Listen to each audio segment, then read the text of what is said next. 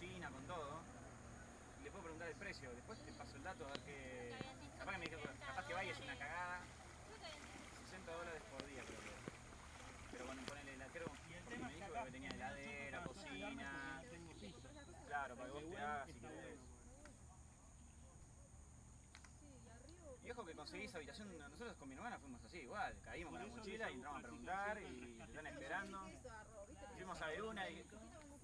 No sé, yo me subo en el kayak y si sale le acerco la punta y ahí yo así.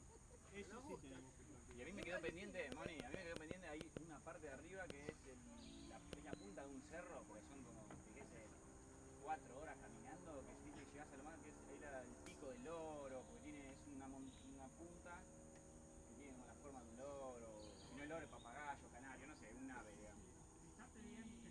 Y nos quedó, y no llegamos, porque íbamos un día a una playa, fuimos pocos días, un día a una playa, otro día a una playa, otro día, siempre el- principio. Pero tiene una subida a un cerro, o sea, tenés para, para patear por la selva, pero... Sí, sí, yo lo leí rato. eso y aparte me había dicho un señor también que fue, me dijo lo mismo.